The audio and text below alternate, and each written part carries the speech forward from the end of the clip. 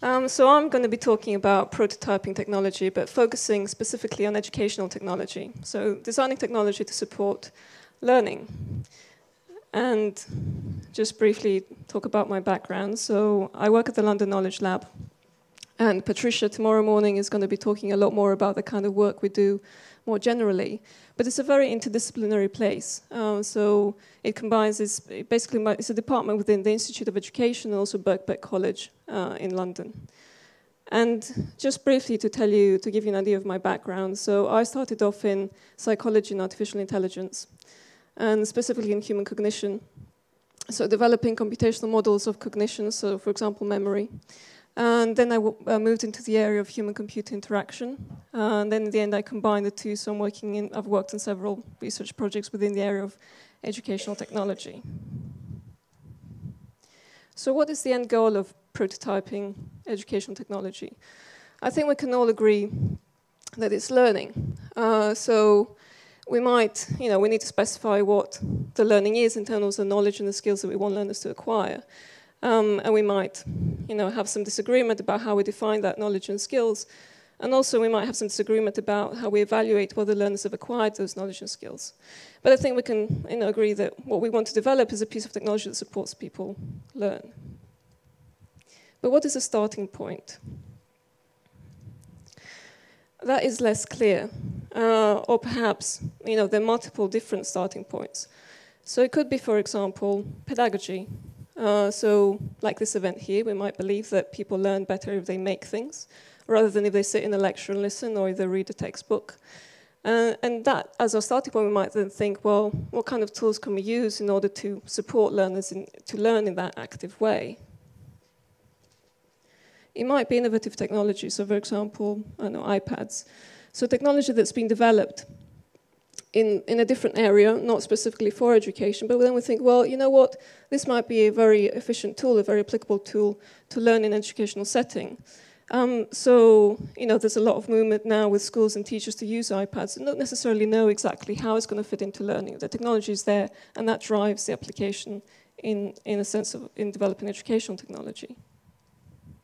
It might be new AI techniques. Uh, so, for example, techniques to uh, mine large, large, large um, amount of data. So then we might have a lot of uh, data about learners, and we might want to look at that to see different patterns, to understand uh, how, our, how our lectures, how our learning materials are affecting learners, identify weaknesses, and see how we might be able to improve. Our starting point might also be what is suitable to a group of learners. So, for example, we have, I don't know, primary school uh, children learning about geography in a field trip. That's our starting point. Then we might look and see, well, what kind of technology is appropriate for that field trip, for that specific subject matter. We can also think of these different starting points in terms of disciplines. Uh, so, for example, psychology is a lot more theoretical. We might be looking at the learning process, trying to identify what kind of factors are influencing the learning process, and that affects the kind of technology we design because we want to be able to look into and identify the different factors uh, we might be coming from the point of view of education, which is more based in the real world. So we might be looking at the classroom context or the informal learning context and designing technology to take into account the kind of interactions between the learners and the teachers and the learners and their peers. We might be coming from the discipline of computer science, which is a lot more technology driven. So what advances can we make within, you know, for, for technology, for technology's sake?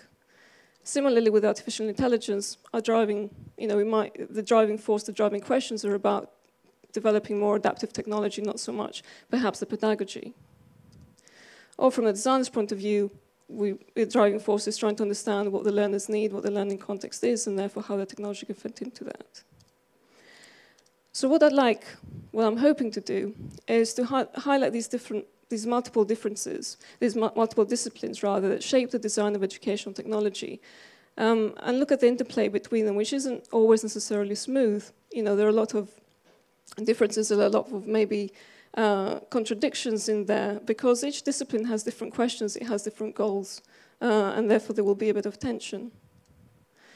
I also want to look at the different processes and the methods that we have for involving learners in the design process, and also touch upon the question, well, you know, why would we want to do that? What do we hope to understand? How will that make our educational technology more effective?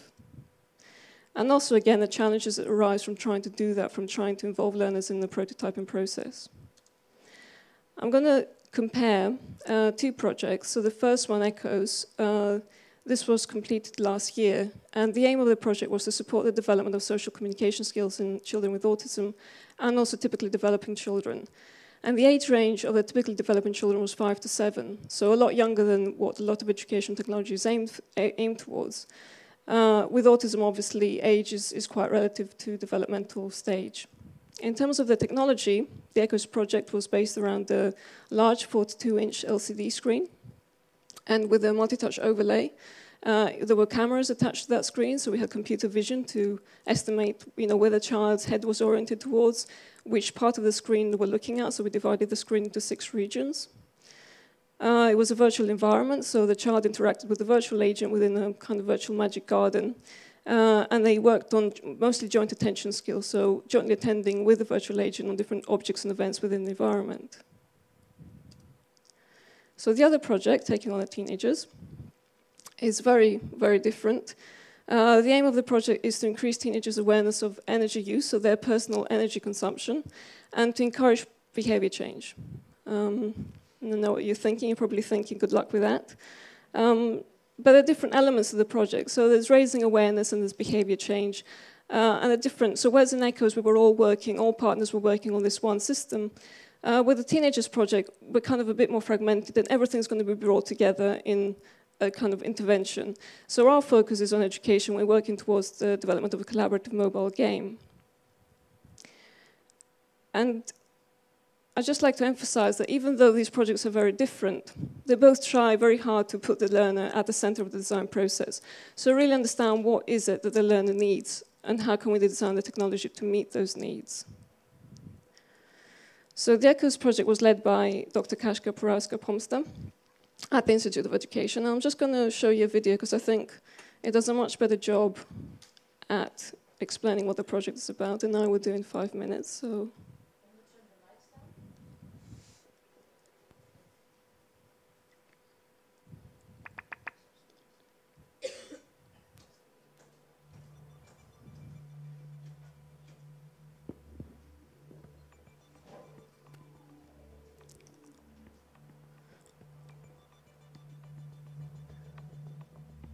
Don't think I have audio. I think I've...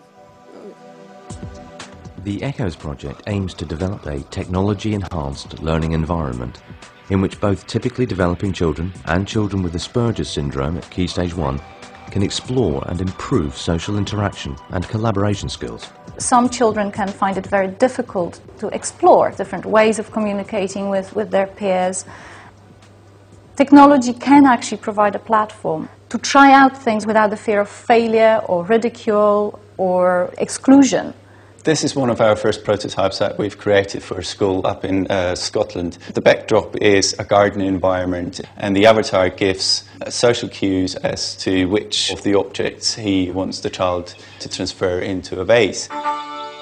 The data that we collect is very rich because we've got several webcams and it's got a multi-touch overlay on it. This is the black frame around it. And all this data is collected to see which social cues the child is able to pick up. There is a huge recognition of the importance of affective computing. And this is the ability of the system to be able to reason about and to act on what it observes about the child in real time. Context aware technologies means that we try to capture the context in which children interact with uh, uh, other peers and then try to build a system that intelligently responds to that context and the changes within. Not that one. We can correlate the kinds of sounds that the child is making with the facial expressions, where the child is looking, where the child is touching the screen. So, for example, if the child is frustrated, it is probably a good time for the, for the, for the system to, to intervene. So, hopefully, if we have uh, an agent who can display emotions as well as recognize emotions of the child, the children will be able to, um, to pick up on those, on those different uh, cues and transfer it to the real world. The project aims to create an interactive, multimodal environment that utilizes a number of technologies But as co-investigator and a specialist in participatory design, Judith Good explains, at the core of their work lies understanding the needs of their users. If you're dealing with children on the autistic spectrum, then what you find is a lot of the technology that's been proposed for those children is often sort of seen as assistive devices. So what you're really doing is highlighting the differences. Somehow those children are, are different from typically developing children. So when we started out designing Echoes, we started working with children in terms of the design. What do children like? What do they respond to? What are their preferences? And so we try and get them involved as design partners from the very start. The requirements we have in ECHOES are actually uh, slightly different from most of the other eye gaze um, systems out there. We've found out that when children jump around in front of a screen, it's very difficult to follow their gaze. And that's why we decided to kind of invest our time into something that would suit our requirements best. There are some schools already who, who have multi touch screens, um, so this is encouraging. But it is still a very expensive technology so it's probably not yet possible for every school to have. Whiteboards are uh, now commonplace and weren't five years ago, and we hope that multi-touch surfaces, such as uh, the one that we have in, in Echoes, uh, are going to be much more widely available in schools in five years' time. So we try to look into the future here. The fact that the Echoes project involves input from eight institutions across the UK demonstrates the academic interest in how further development in artificial intelligence might impact on pedagogical attitudes of the future. When artificial intelligence kind of started out, there were, there were uh, big claims made about where we would be uh, in 20 years' time, and those haven't really materialized. So it is a very challenging thing. I mean, even just defining from a psychological theory point of view, what is motivation? What are the different emotional states? How should we be responding to them? And that's all kind of knowledge that teachers have, but making that knowledge explicit and then implementing it in the computer system is extremely challenging. There seems to be some early findings that indicate that just with the simple agent that we've implemented so far, that children who are on the spectrum are very willing to engage with Paul, our agent, in, in a very meaningful way. There's some sense that they're able to regulate their behavior in a way that at the very beginning of the interaction with Paul that they weren't able to do. And that's really interesting. If you think back to your own learning, what were the points that really stood out? And I guarantee there was a teacher who behaved in an inspirational way. There were things to do that were really challenging and engaging and exciting. And there were people to talk to about you, what you were doing to help you reflect on what you do. And the extent to which computers are going to help us in learning and teaching is the extent that they can behave like that. Well done. If we can emulate human tutors and human teachers' behavior, then we can provide education that is effective for a much wider population than it is currently possible. It is not about replacing the classroom learning, it's about providing extra support to it. Then I think it's it's something that, that, that is worth investing in.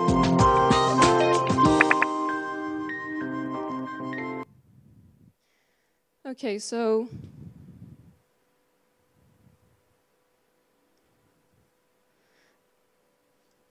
Okay, so you might have gathered from that video that actually the focus, the, the main driving force of the ECHOES project was the technology itself. So we've got this, you know, amazing new techniques in computer science, computer vision, and artificial intelligence uh, that have been applied to adults. Um, and if the, we can transfer them and apply them in education, especially with children with autism, we can potentially, you know, make huge advance, advances.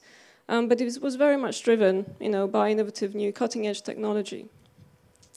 Um, as I said, we, we had the, explained it in the video, had the, the computer vision, uh, the work with adults, as I said, but when it came to the situation uh, within the classroom where the lighting is not, you know, perfect, you haven't set it up, uh, the child is moving around, is, uh, you know, maybe turning towards the, the teacher, turning towards the screen all the time, um, is a very challenging problem from the point of view of computer science.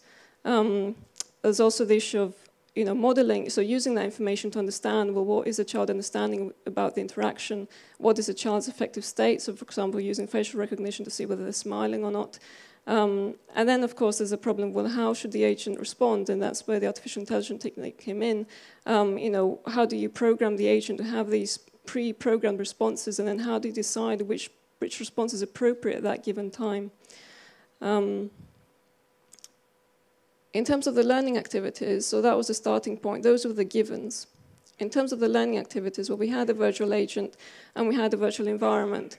And within that, the child was attending to objects and events. And the skills that we were trying to support were the very basic skills of, of communication, which are you know, jointly attending to uh, the same object. Um, but again, that was largely dictated by the environment that we'd created. Uh, so as we see here, for example, the, the activity is to spin the flower heads and then create bubbles from them, and then we can pop the bubbles. So the agent might be pointing, directing the child to perform a certain action within the environment, and we see whether the child is responding or not.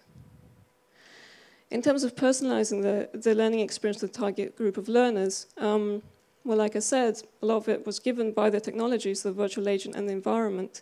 So it was the object and the events that we could tailor, and there was a lot of work done with children, uh, which is quite challenging, especially with young children, especially when those children are on the autism spectrum, um, to get to interact with them and to understand what what their needs are uh, and what their likes and dislikes are, um, and for that to be coming from the children rather than us directing. But we also worked a lot with uh, practitioners, teachers. Um, and that in itself had its own challenges because we, as computer scientists or in having a background in artificial intelligence, we could understand how potentially the system could work. But trying to communicate that to teachers was, was difficult because A, they couldn't really understand what it was that we were talking about. We're talking about modeling the, the child's affective state or modeling the child's you know, cognitive understanding.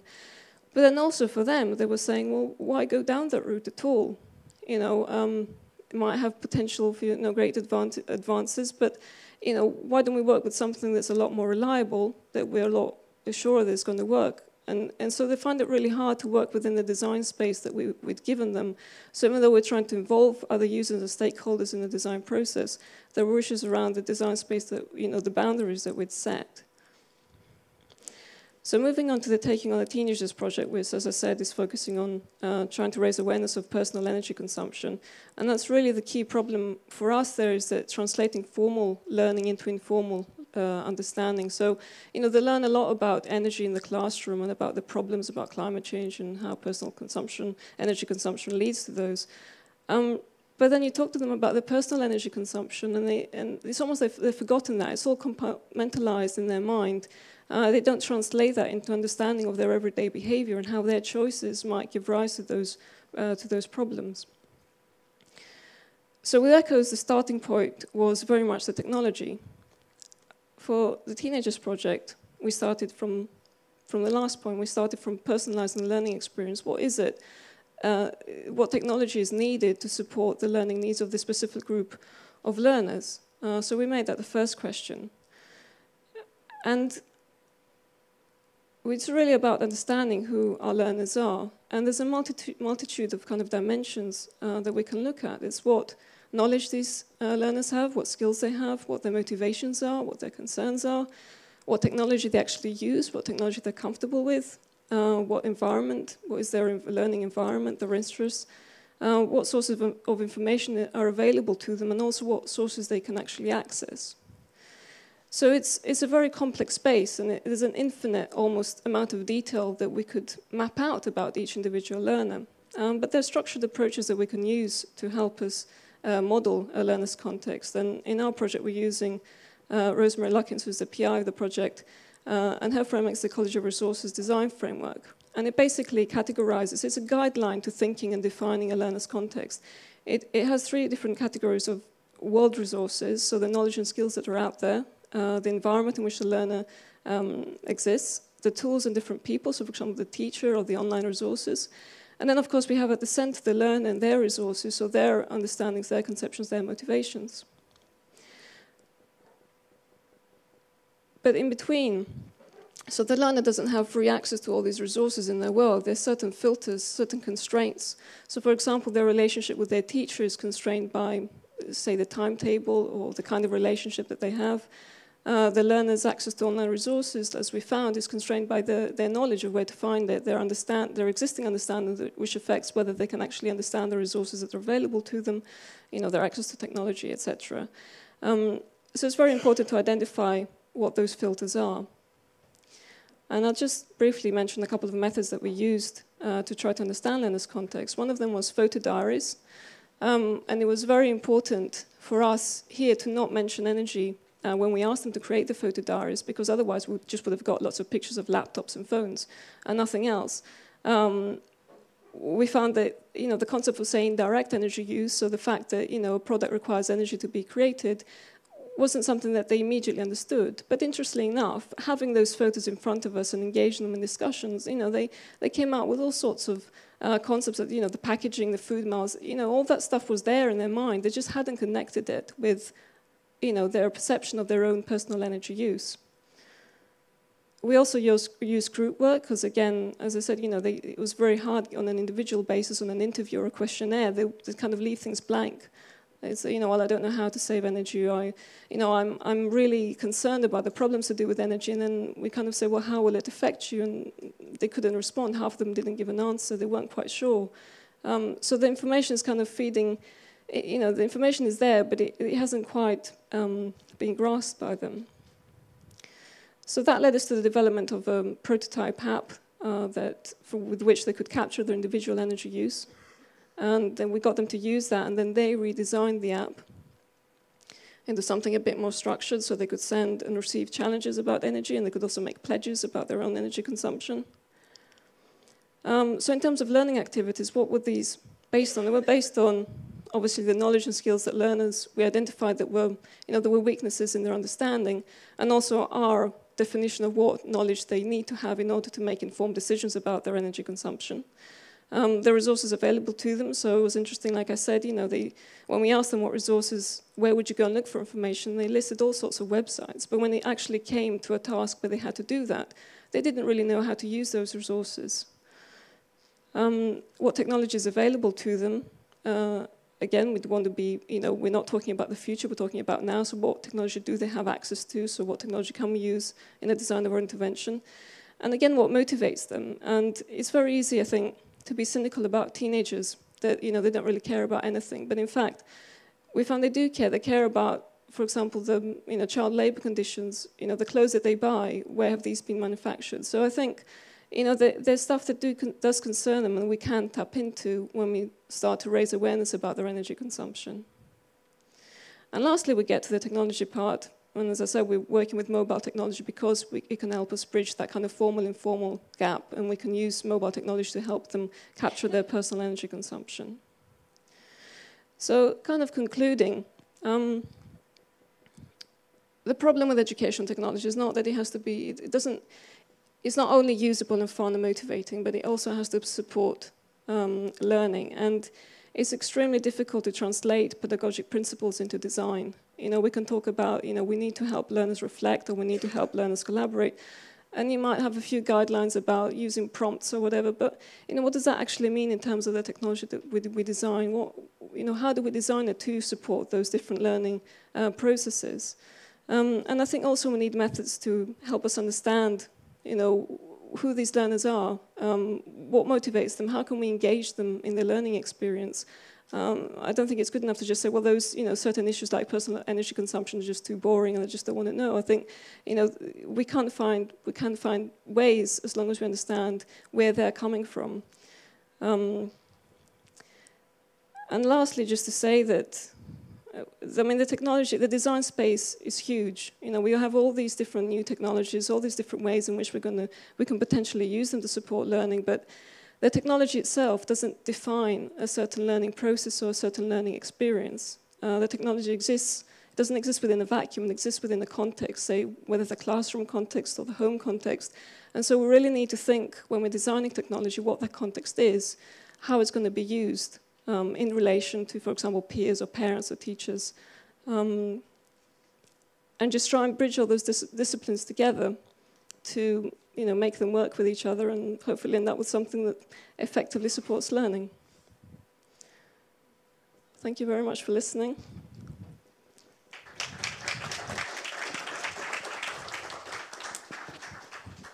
That's really, really good. Um, I did learning games five years back and did that before we really had a lot of technology.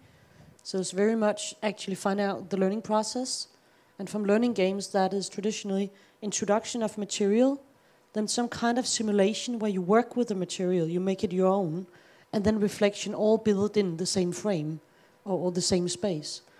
And it was extremely inspiring to see how far you got in the field. Uh, it's really, really, yeah, very great.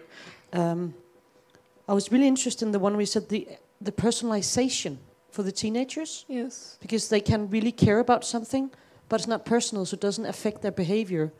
And for small children, identification and having a safe space to operate in. Brilliant. Questions? Yes.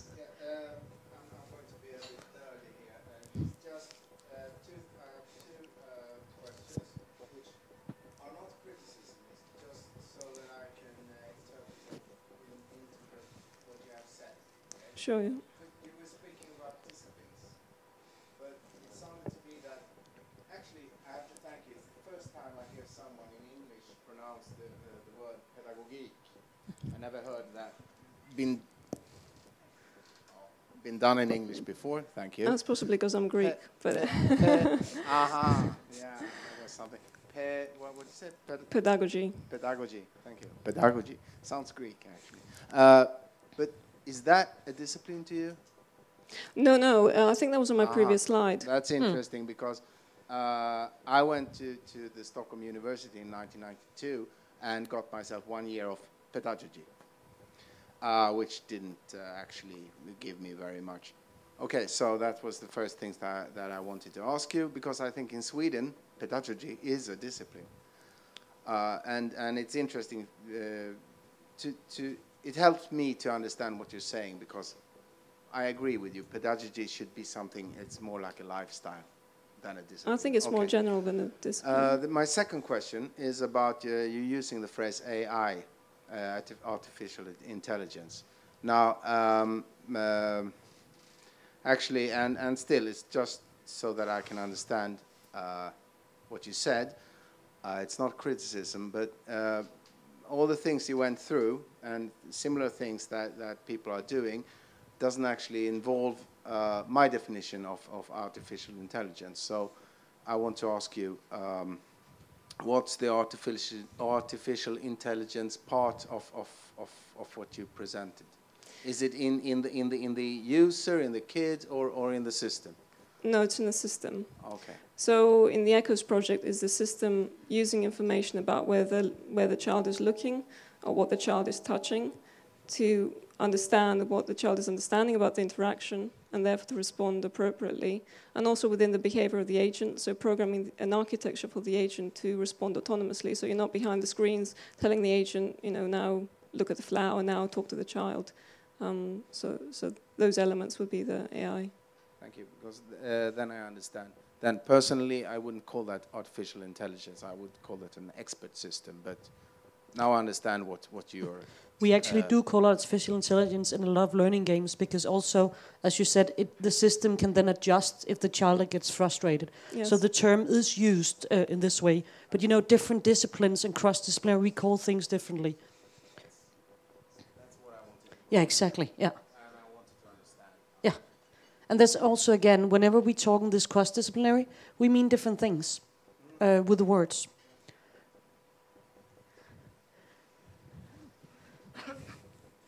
Uh, very interesting talk, um, uh, talking about uh, uh, uh, you know combining different disciplines uh, for for the process of learning, and which is which is exactly what you know uh, uh, what what my whole professional life is about actually. So um, I was wondering uh, you were you were mentioning about uh, cognitive science and different forms of knowledge and so on. Uh, uh, do you do you have any kind of taxonomy of the different kinds of knowledge and and correspondingly different kinds of learning that that are required? Because uh, for uh, I, I'll tell you why I'm asking the question. Uh, for example, we are interested in questions like uh, what we call episodic knowledge and semantic knowledge. So so episodic knowledge is where we are we are involved in some episode or some kind of an autobiographical situation, right? And uh, so it's like saying, "Oh, th- this is what happened that day," and you know, and uh, recalling that, and th- this is what I learned. While while we are, semantic knowledge is some general knowledge principles, saying, you know, it's very cold in Sweden, or you know, such kinds of where where we don't re- really recollect where we learned it, but but then we we, we just know that uh, uh, the, you know somehow okay somehow it's there in our general knowledge and uh, so uh, we are interested in learning uh, or we are in, yeah i mean we are interested in in learning how we learn both kinds of knowledge and uh, so I'm, i was wondering have you looked at uh, anything along those lines and uh, no, I mean, in these two projects, we haven't used any such taxonomy of knowledge. Um, it does sound vaguely familiar from my psychology days, though. I think, I mean, we're all with the, I guess with, with the ECHOES project is about social communication skills, so it's not necessarily explicit understanding, but how you relate to people. Uh, and then with the teenagers project is more about your behavior, so your understanding of the impact of your behavior. How, so I guess it, it is translating factual knowledge in a sense. Um, but no, we, we haven't thought along those kind of distinctions at all. There's been uh, in learning games there's been quite a lot of uh, looking into what can you learn with which type of context and situations. For example, live role plays and simulations are very good for understanding complex systems like political systems. Uh, but I don't think Elizabeth. Uh, do we have anything confirmative at that point? I've seen a lot of articles, and also there's been a lot of elite schools developed the last ten years, where they kind of been indexing this type of intelligence, this type of learning could be used with these methods or small workshops, but I haven't seen anything conclusive on it, just kind of working, internal working papers for schools or teachers. One, one thing i see yes. Most of.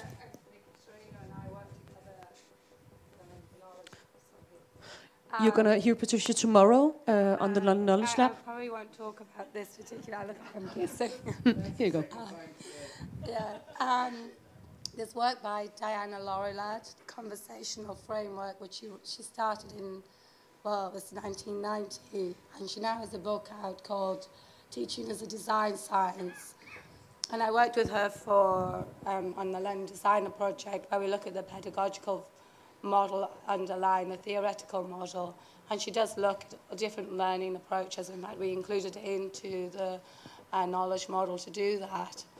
Um, so yes, there is work, and there's substantial work that has been done, but not that is separate from the project. So Katerina wouldn't be, be aware of that.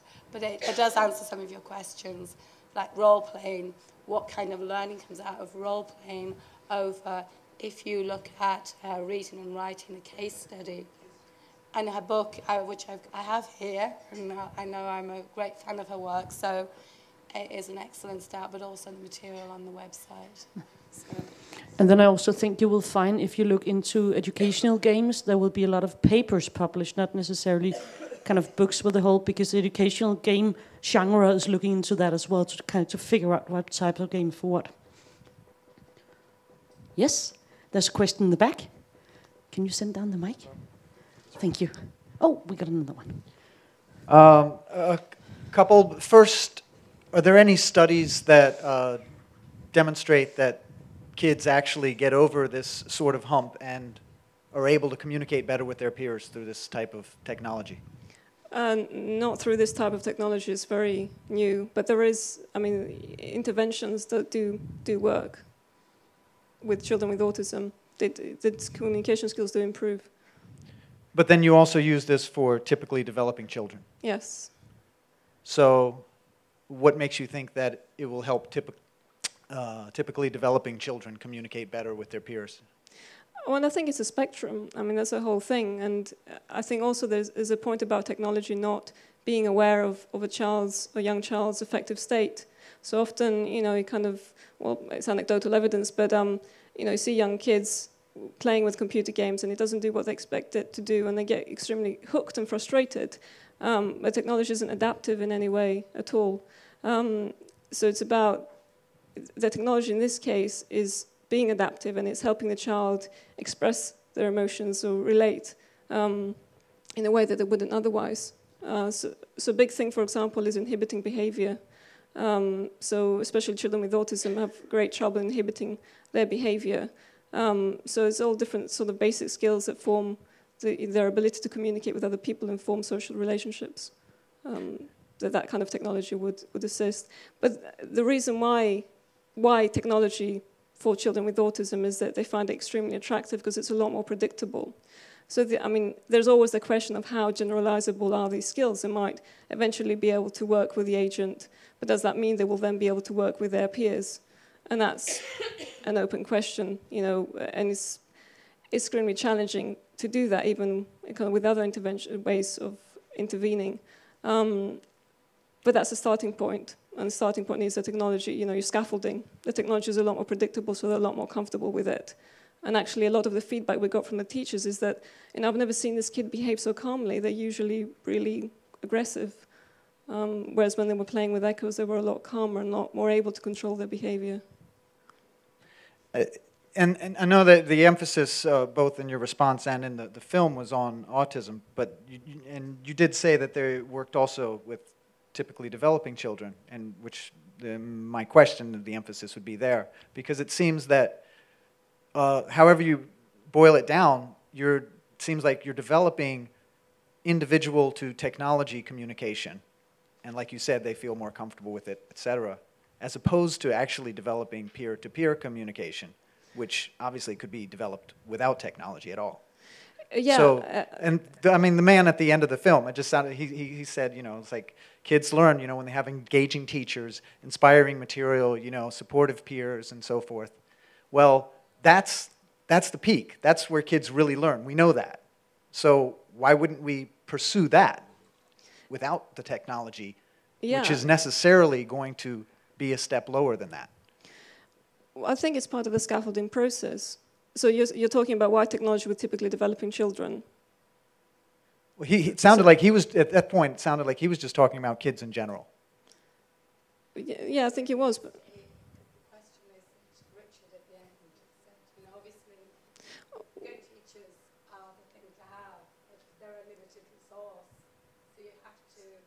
Well, shouldn't we be financing that then? but, uh, shouldn't we be financing, you know, better teachers? You know, I mean, because that to me it seems like because one of the things it's, it seems like part of the dilemma. It seems like you talked about developing climate change awareness by using technology, which uses energy. So you're using energy to tell kids they don't need to use energy, and then wonder why they don't see that this is connected to their personal life. that's a different point, and I'll answer right? that. No, I'm just saying. No, I'll answer that.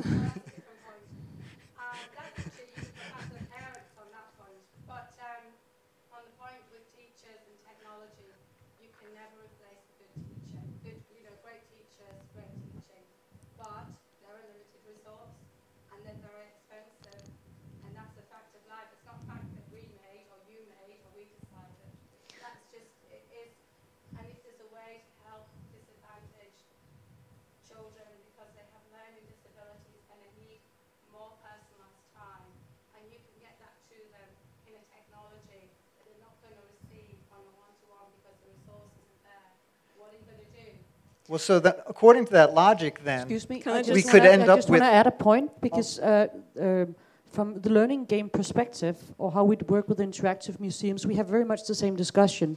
Why don't we just have more people talking?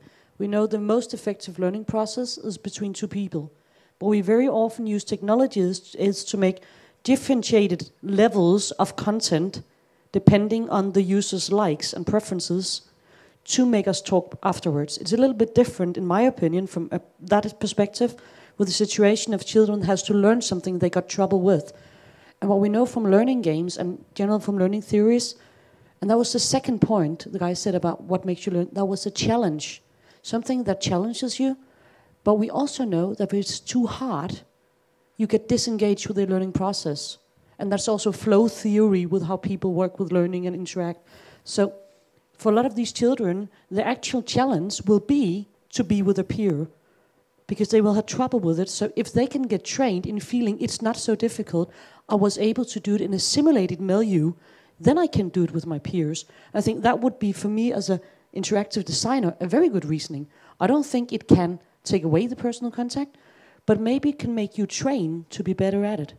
Um, so that's from that perspective I see it. But it just sounds like, according to the logic that she was saying, that that's not necessarily following that ideal path. If money is actually going to steer what direction it will take, then maybe we could look at, like, for example, the healthcare industry to see where we might end up in schools, where already we're starting to use artificial intelligence and technology to take care of elderly people, or uh, Skyping in, you know, conversations as opposed to people actually going and talking to them. So according to this path, maybe, you know, we'll be sending all of our kids in 20 years to have their AI teacher at school or a Skyped in professor because we just can't afford real people. Uh, so I think it's Even though Cuba's been able to do it. I just have to say, diff- with that, that oh, sorry, then Gutenberg books would be the same. Then a book is the same. It's a way of actually making something kind of more functional instead of one person learning to the other. Then the book is a collection of knowledge. So I think the same argument could be used for books, basically. There's also pencils, Another, There's another point for technologies that, and something we, we got feedback on from teachers, is that the teachers, when they you know they're trained, but they don't necessarily understand what the potential of the child is. And a lot of the children, like I said, you know, the teachers, the teachers said, you know, we saw this child interact with the system, and we never thought that they would behave this way, um, so calmly, um, and that they had reactions, you know, in, in sharing, turning to the teacher to share what they were, you know, their emotion, the positive emotion of what they're experiencing on the screen, that they had never done before. And it also helped the teachers understand what the potential of this child is by being placed in a situation where they're, you know, a lot more able to show what that potential was. Um, so I think there are a lot of reasons for it, but it's a valid point. You know, it's expensive technology, uh, and you have to justify if you're going to spend that, that amount of money and that, that cost. Um, you have to justify based on the benefits. I think that we know from uh, the very first kind of motion training machine that you can train up people's muscular structure with technology. There was a lot of motion cam uh, cameras training up, and especially people after operation and long times at hospital. What we don't know yet is does this also transfer to this area, and that's why I think the project is really interesting. Uh, can, does it help? And you won't know before you run it for a long time. You won't know the effects of it. Yeah, no, but it's very interesting. Yeah. make a, a small point. Uh, uh, just a few weeks ago, I was moderating a panel discussion back in India uh, on uh, technology enhanced learning and whether it really helps. And and uh, precisely the same question came up uh, that you know whether uh, technology can really replace teachers. Should we not be working on teachers? And uh, so there was a very good point that was made by someone. Uh, I think that that might be relevant here. The thing is that uh, good teachers are very hard to come by.